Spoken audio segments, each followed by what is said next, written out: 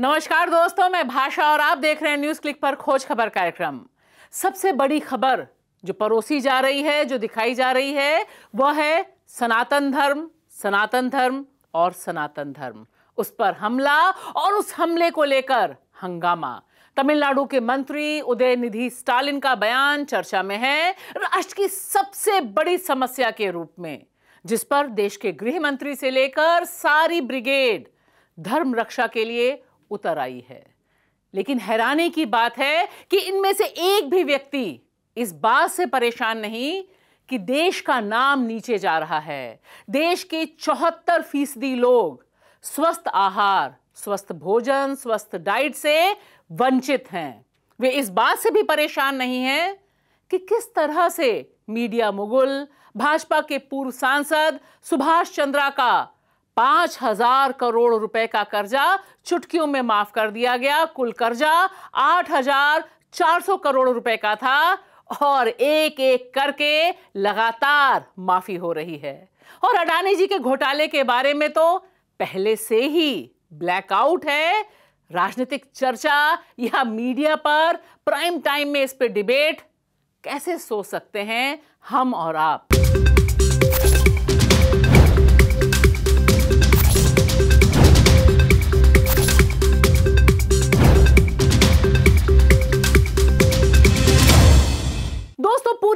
देश में अमृतकाल का फील गुड इंपैक्ट है और जी ट्वेंटी की जो चमकदार तैयारियाँ चल रही हैं, उसने वाकई दूसरे ढंग का अमृतकाल सबको परोस दिया है। और यह अमृतकाल देश के नागरिकों की थाली में भी उतर आया है। चौहत्तर फ़ीसदी भारतीय नागरिक स्वस्थ, पौष्टिक आहार से खाने से वंचित हैं। इसकी वजह हम और आप सबसे अच्छे ढंग से जानते हैं। सारे देश के नागरिक जानते हैं। महँगाई की मार हो, रोज़गार का संकट हो, और कमाई लगातार लंबे समय तक एक ही स्तर पर रही और उसकी वजह सामने है। आलम यह है कि चौहत्तर फ़ीसदी भारतीय नागरिकों की थाली में से पौष्टिक तत्व गायब हो गए हैं। देश की आबादी, बड़ी आबादी कुपोषण के गर्त में जा रही है। पिछले पाँच सालों में एक आम भारतीय नागरिक की थाली की दाम में पैंसठ फ़ीसदी वृद्धि हुई है। जी हाँ, यह देखिए अमृतकाल का कनेक्ट। अमृतकाल और हमारी आपकी थाली की कीमत पैंसठ फ़ीसदी बढ़ना, यानी महँगाई की इतनी तगड़ी मार कि हमारी थाली पर सीधे सीधे गाजगिरी और तमाम पौष्टिक चीज़ें, ज़रूरी चीज़ें जो हमें आपको, बच्चों को खानी चाहिए वह सब गायब हो गई, कम हो गई। बर्बादी और तबाही का आलम तो यह है कि 200 रुपए के सब्सिडी के बावजूद, जो उज्ज्वला योजना में चार लाभार्थियों में से सिर्फ़ एक ने, सिर्फ़ एक, चार में से सिर्फ़ एक लाभार्थी एक साल में, पिछले एक साल में ज़ीरो या फिर एक एलपीजी सिलेंडर भरवा पाया है। कितना ज़बरदस्त अमृतकाल है। संयुक्त राष्ट्र की यह जो रिपोर्ट आई है state of food security and nutrition in the world S यानी दुनिया में खाद्य सुरक्षा और पोषण की स्थिति पर जो ये रिपोर्ट है, इससे पता चलता है कि मोदी जी के अमृतकाल में भारत का नाम कितना रोशन हो रहा है। यह नक्शा देखिए यह नक्शा है ब्रिक्स के देशों का। अभी सम्मेलन हुआ था अफ्रीका में, जोहान्सबर्ग में और उसमें छह और नए देश भी शामिल हुए थे। इन ग्यारह देशों में भारत न्यूनतम स्तर पर है।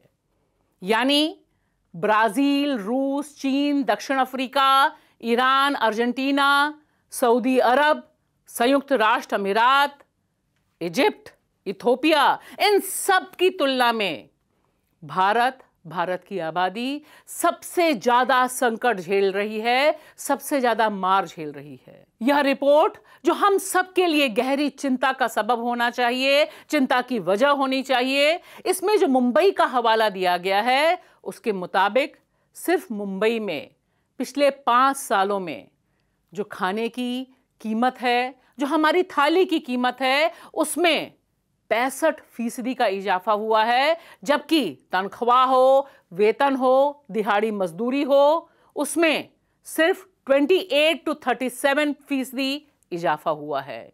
और यह रिपोर्ट बताती है बड़े पैमाने पर कि किस तरह से पिछले पाँच साल भारतीय अर्थव्यवस्था जिस तेज़ी से रसातल में गई है, जिस तरह से मध्यम वर्ग पर उसकी मार पड़ी है, जिस तरह से वेतन बढ़ा नहीं, लेकिन महँगाई सुरसा के मुँह की तरह लगातार बड़ी होती गई है। उसने दरअसल हमारे आपके थाली से पौष्टिक तत्वों को खत्म किया है।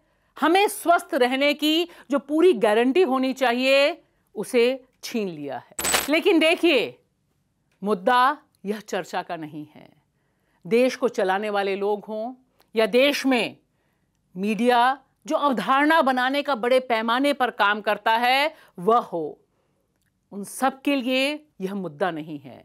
उन सब के लिए मुद्दा है कि किस तरह से द्रविड़ विचारधारा, पेरियार विचारधारा में विश्वास रखने वाली डीएमके उसके एक मंत्री, उदयनिधि स्टालिन, जो वहाँ के मुख्यमंत्री के बेटे हैं, उन्होंने जो बयान दिया कि सनातन धर्म को खत्म करना चाहिए, उससे मुक्त भारत होना चाहिए और इसके बाद जिस तरह से राष्ट्रीय स्तर पर इस पर डिबेट डिस्कशन त्राहीमाम त्राहीमाम हो रहा है, वह बता रहा है कि चिंता कहाँ है।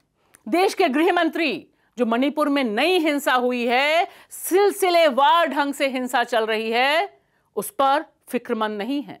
उस पर वह कुछ नहीं कहते, लेकिन वह तुरंत यहाँ पर उदय निधि के खिलाफ बयान जारी करते हैं। सिर्फ़ गृह मंत्री ही नहीं, तमाम नेता, चाहे वो भारतीय जनता पार्टी के राष्ट्रीय अध्यक्ष हों, नड्डा जी, या फिर सारी की सारी ब्रिगेड, वह निशाने पर लेती है सिर्फ़ डीएमके के नेता उदय निधि को ही नहीं, बल्कि कांग्रेस को और विपक्ष के गठबंधन इंडिया को। और सीधे सीधे निशाना लगाते हुए पूछती है कि वे हिंदू विरोधी हैं क्या? और आप देखिए कि जो पूरा गठबंधन है, उसे डिफेंसिव मोड में डालने की कोशिश होती है। और इसका बहुत करारा जवाब उदयनिधि खुद देते हैं। वे कहते हैं, प्रधानमंत्री को कोट करते हुए कि जब प्रधानमंत्री लंबे समय से देश को कांग्रेस मुक्त बनाने की बात करते हैं तो क्या वे हर कांग्रेसी को मारने की बात करते हैं? और इसी क्रम में कर्नाटक के जो एक प्रखर नेता हैं, प्रियंक खड़गे, वहाँ की सरकार में मंत्री हैं। उन्होंने जो कहा, वह भी सुनना बहुत ज़रूरी है। वह कहते हैं कि जो धर्म बराबरी और सम्मान नहीं देता, वह दरअसल बीमारी ही है। लेकिन दोस्तों, यहाँ किसी को इस बात से फ़िक्र नहीं है कि उदय निधि ने कहा तो क्या कहा? और तमिलनाडु का एक मंत्री अगर कुछ कहता है तो क्या पूरे देश में इस तरह का हंगामा होता है? और होता है तो क्यों होता है? उसका मकसद नड्डा जी, जो भाजपा के राष्ट्रीय अध्यक्ष हैं, वे खुद ही साफ़ कर देते हैं। वे सीधा निशाना साधते हैं राहुल गांधी की नफरत की दुकान पर और कहते हैं कि इस दुकान से हिंदू धर्म के खिलाफ नफरत उड़ेली जा रही है। और इस तरह से एजेंडा सेट हो जाता है। न रोज़गार पे चर्चा, न महँगाई पे चर्चा, न इस बात पे चर्चा कि चौहत्तर फ़ीसदी भारतीयों की थाली से यह पोषक तत्व क्यों गायब हो रहे हैं? नहीं, सिर्फ़ चर्चा होती है सनातन, सनातनम धर्म पर। और यहाँ मैं कोट करना चाहूँगी बाबा साहब भीमराव अंबेडकर को। देखिए उनका कथन। बहुत साफ़ साफ़ शब्दों में उन्होंने कहा था कि अगर यह देश हिंदू राज बनता है तो यह इस देश की सबसे बड़ी त्रासदी होगी। हिंदू राज को हर कीमत पर बनने से रोका जाना चाहिए। अब आज की तारीख में बाबा साहब भीमराव अंबेडकर पर कौन निशाना साधेगा और कहाँ से निशाना साधेगा? हम सब देख रहे हैं कि लगातार वन नेशन, वन इलेक्शन पर हंगामा मचा हुआ है। एक के बाद एक बैटिंग हो रही है। एक वीडियो जो मैं आपके साथ साझा करना चाहती हूँ, वह इस पूरे प्रोसेस के बारे में, पूरी प्रक्रिया के बारे में दूसरा एंगल पेश कर रहा है। ध्यान से देखिएगा यह वीडियो। क्योंकि वन नेशन, वन इलेक्शन पर पूर्व राष्ट्रपति रामनाथ कोविंद के नेतृत्व में जो कमेटी बनी, उसके एक सदस्य हैं पूर्व solicitor general of India Harish Salve ji. और यह वीडियो जो बहुत वायरल हो रहा है, इसमें साफ़ साफ़ दिखाई दे रहा है कि हरीश सालवे जब उनकी शादी होती है, उस समय, उस शादी के समारोह में यह जो भगोड़े ललित मोदी जी हैं, जो हमारा और आपका पैसा लेकर 2010 से इस देश से बाहर हैं और लॉ इन्फोर्समेंट एजेंसियाँ अभी तक उनकी तलाश कर रही हैं वह शख्स इस पार्टी में मौजूद हैं। तकरीबन 800 करोड़ रुपए के गबन का आरोप है इस शख्स पर। यहाँ पर हम और आप यह ज़रूर सोचें कि जो लोग वन नेशन, वन इलेक्शन की बात कर रहे हैं, क्या इस देश में सबके लिए एक ढंग का कानून है? शायद नहीं। जो लोग मीडिया में, सरकार में या नौकरशाही में बहुत तेज़ी से बैटिंग कर रहे हैं एक देश, एक चुनाव के बारे में, क्या वे कभी सोचते हैं कि इस देश में तमाम भारतीय नागरिकों के लिए एक ढंग का कानून नहीं है? एक तरफ़ ललित मोदी, उनका यह वीडियो, दूसरी तरफ़ सुभाष चंद्रा, तीसरी तरफ़ अडानी जी, और फिर मोदी जी के खास सांसद ब्रिजभूषण शरण सिंह, ये सब जिनको होना चाहिए था जेल की सलाखों के पीछे, जिनसे वसूला जाना चाहिए था हमारे द्वारा अर्जित पैसा जो ये लूट कर भाग गए या जिसकी माफ़ी हो गई। वे सब इतने बेखौफ क्यों हैं?